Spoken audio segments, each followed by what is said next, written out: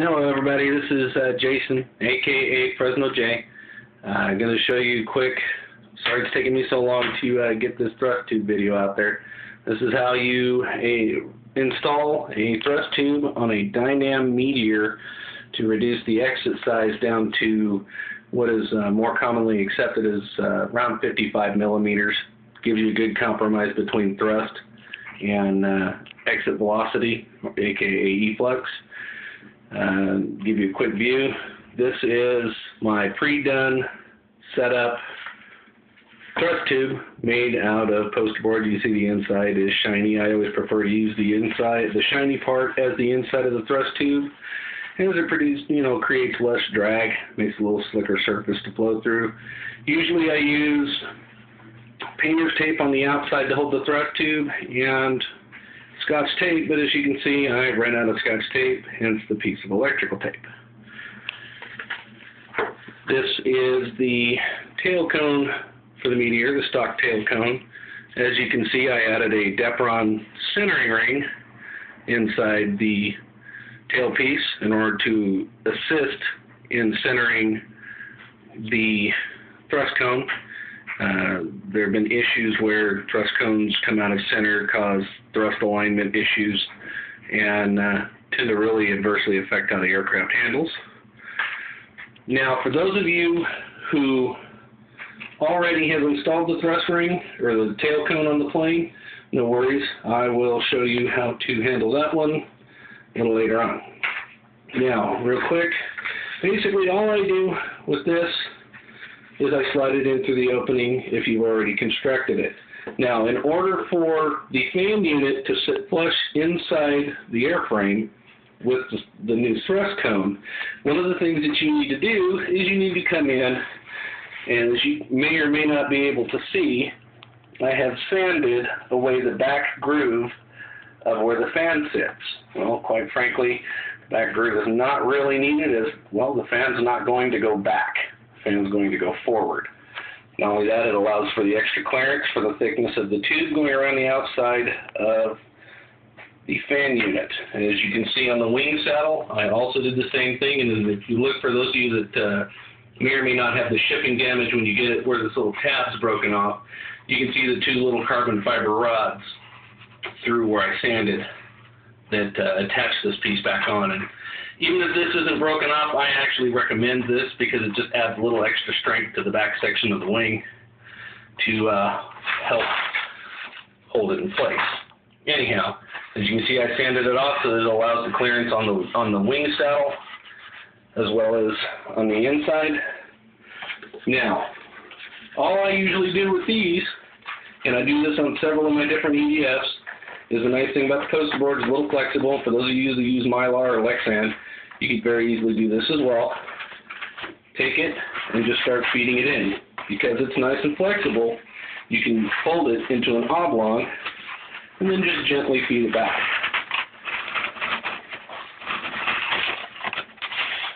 Now notice the notch.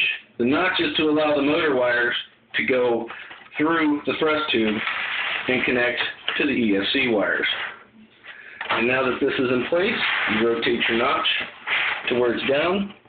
One of the other things you can notice too that I did, and some of the other users have mentioned that they have done, is they've widened the trough here. These are your two wires for your elevator and rudder servos. You widen the trough to allow these wires to sit flat.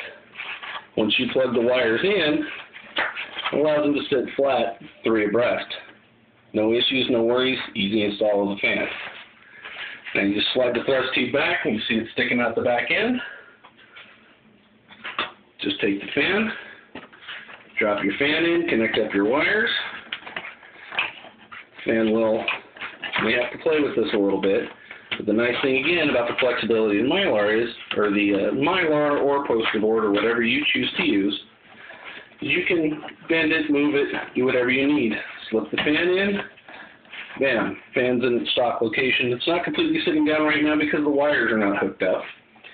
And then once it's in place, you can actually take and slide the thrust tube back over the front or the back of the fan unit. Now, sometimes you may run into an issue where it's not wanting to slide easily up over the fan unit. Well, what I tend to use is I have a frosting knife, or you can even take and use a another handy tool that I have. And I have a very, very long piece of carbon fiber. As you can see, very long, stick it right up the tailpipe, and because of the concave shape that I've sanded on this, and this is also for sanding ducts once an aircraft's put together, um, you can take this and feed it around the inside of the tube, and it'll pop it out to the diameter of the fan, and you should be able to push it on from the back. Now, for those of you that may have already installed your tail cone, one of the nice things about the materials that we use for the thrust cones is again, very flexible, pliable, and you can just pop it on or, you know, form it to an oblong or actually roll it up to where it slides right on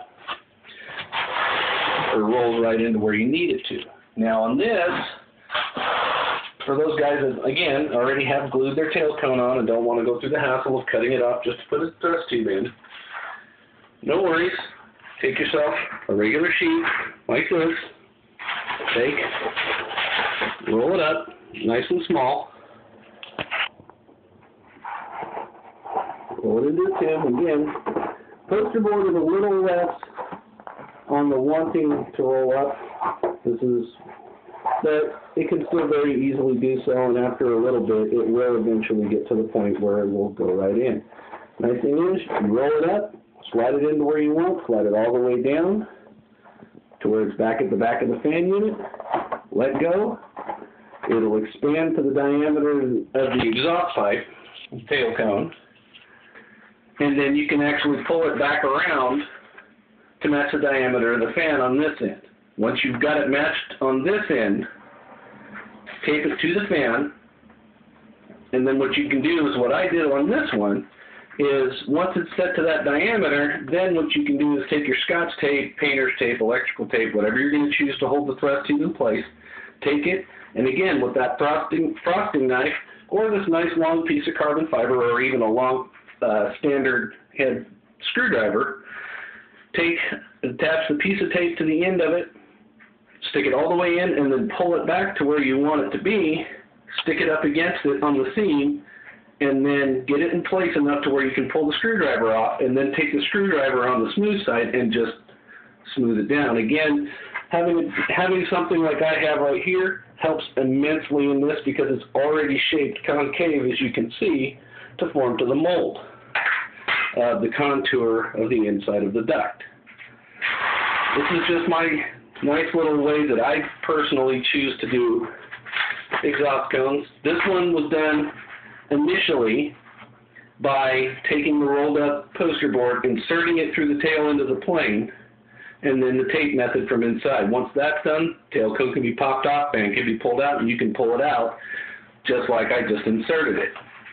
And you take it, and again, just like you put it in there, watch your ESC wires. And again, the nice little feature of the poster board, or Mylar, Lexan, whatever you choose to use, is that you can bend it, form it, and whatever else you want, and pull it right back out. As you can see, it doesn't really mess up the inside. The outside's a little wrinkled, but the inside, because I choose to use the smooth part on the inside, really doesn't get messed up at all. Not enough to where it's going to affect anything. So, for those of you out there, that's my thrust tube install.